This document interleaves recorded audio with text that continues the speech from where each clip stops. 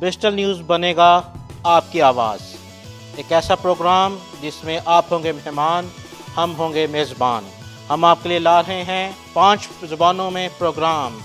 इसमें होगा उर्दू, अंग्रेज़ी, पंजाबी, बंगाली शुमाली अब होगी सिर्फ़ मुस्बत बात, अच्छे अंदाज में।